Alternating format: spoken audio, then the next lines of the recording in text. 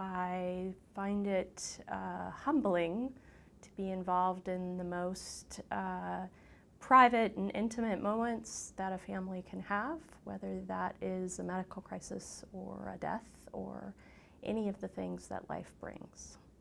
I certainly stay apprised of the political developments as they relate to healthcare, um, and I certainly keep up on the ever increasing pace of technology and research. I have long had a dream of working here, and after many years in healthcare, uh, I saw an opportunity, and I'm very happy to be here.